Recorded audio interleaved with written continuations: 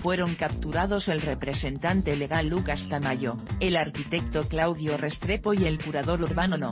1 de Cartagena, Ronel Llamas.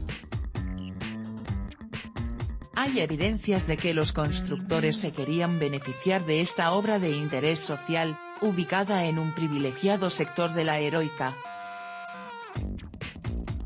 Golpe demoledor a Acuarela, el polémico proyecto inmobiliario en Cartagena Foto, Tadeo Martínez Semana.